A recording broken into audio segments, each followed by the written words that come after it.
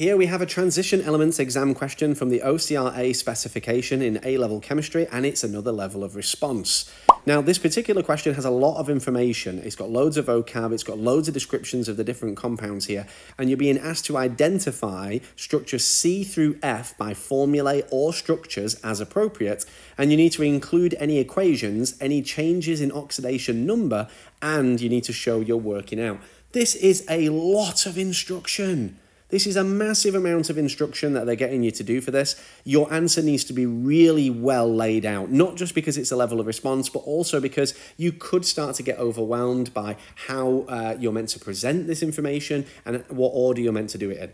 I would honestly, and as you'll see in a moment, over annotate your question up here so you are really clear at what you're doing and also split this up. Make sure you do it as three distinctive sta uh, stages. Use subheadings and do a really calm and controlled layout for this. Keep chugging through it, so don't just suddenly get distracted midway, but I would do it section by section. They are completely independent from each other. You don't need to do one before the other, and so you can break this up into three different parts. Let's have a look at what my model answer for this would look like. Okay, like I said, this is from the uh, OCR-A specification. It's actually from the 2018 Paper 1 exam, and this level of response is all about the copper transition element.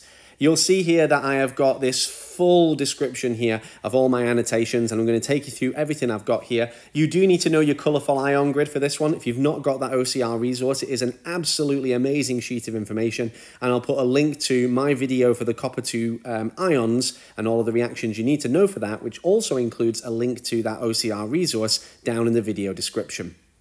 So here I've got three distinctive reactions and I need to describe each of them with enough information to provide details about uh, structures C through F. So I'm going to start off with reaction one. Now, aqueous copper 2 sulfate, which we know contains the hexa-aqua complex ion, reacts with excess ammonia in a ligand substitution reaction. It's actually a partial ligand substitution there, and we know that because we form this deep blue solution that we're familiar with from the specification, which is an octahedral complex ion C. That's that one just there. And we know it's a trans isomer. So because we've got this 2 to 4 ratio of the monodentate ligands here, we do get cis-trans isomerism, and they specifically here want us to make the trans isomer. Now, I'm not going to read through 2 and 3 just yet. I'm going to focus on reaction 1. So let's have a look at my reaction 1 answer first. So here is my reaction equation. This is really common. You must make sure you know this ligand substitution reaction. Again, my copper-2 uh, complex video is linked in the description down below. And this structure here is C. It's our dark blue complex ion. And there is the trans isomer for it. And we know it's the trans isomer because the 2 to 4 ratio of my monodentate ligands here has the 2 in the 2 to 4 ratio displayed 180 degrees apart. You could have put them through here like that, that still would have been 180, but it's more common to see them above and below like that in the two axial positions on the octahedral structure. Let's move back up to part two. Part two, I've got copper 1 oxide. There we go, that's Cu2O. So don't for one moment think that's going to be CuO2. It's Cu2O. It reacts with hot dilute sulfuric acid in a disproportionation to form a blue solution, which is copper sulfate, and a brown solid, which is copper. This is on the colourful ion grid. It is mentioned in the OCR-A specification inside Module 5 when you get to the interconversions of the transition elements. So you need to be aware of the redox reactions and the different reagents necessary to perform those, and it's the interconversions of the copper when it goes back and forth between two common oxidation numbers. So please make sure you don't overlook that section of the specification. Otherwise, reaction 2 here is going to feel like application. It's not. It's actually actually recall. It is mentioned in your spec really clearly. Don't forget about that link in the video description. So before we move on to three, let's have a look at what's going on with two. This disproportionation process is something you are meant to be aware of, and you can see I've got my full reaction equation here with D, the blue solution, and E, the brown solid, being clearly identified. You are not allowed to refer to the copper as a copper-coloured solid. You must say it's a brown solid. Now, this is a disproportionation reaction, so it's time for the oxidation numbers to get incorporated here.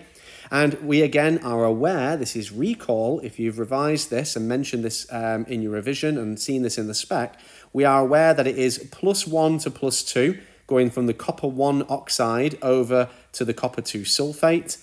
And we've got plus 1 to 0 going from the copper 1 oxide over to the copper, which has an oxidation number of 0 because it's an uncombined element. We are also aware, therefore, to allocate our vocab here of oxidation and reduction, respectively. Finally, here we move to reaction three. This one is not specifically in the spec, but um, it is well described and actually it's okay to follow. It's very similar to uh, a lot of the things you meet in modules three and two. So we've got uh, the heating to constant mass idea of waters of crystallization, but also we've got copper 2 oxide, which is going to react in a very similar way to any of the group 2 metal oxides. And there's a lot of crossover here with different parts of modules 3 and 5. It's not impossible to follow what's going on here at all. Essentially, we have a reaction between an oxide and an acid, which makes a salt, and that salt then has a number of waters of crystallization associated with it, which then are evaporated away to leave us with an anhydrous salt. And we've been provided with loads of information here um, in order to help us analyze this substance. So, for reaction three, just at the bottom down here, um, we've got our reaction equation, which is the copper 2 oxide reacting with the nitric acid to form copper 2 nitrate and some water just here. The blue solution, you might say, I thought copper 2 sulfate was blue. Remember, it's not the sulfate that makes it blue, it's the copper 2 part. So the copper 2 nitrate here is just as blue. We've then got all of this information here, which is our percentage composition by mass. You know what to do with this. It's empirical formula. And so the empirical formula of the salt is going to be CuH6N2O9. Now that is the hydrated salt. I want to make that really clear. So you're thinking, why have I done these two bits together? Look at these hydrogens, look at these oxygens. This is going to be the hydrated salt, whereas this, of course, as we can see written in the reaction equation alongside the water, is the anhydrous.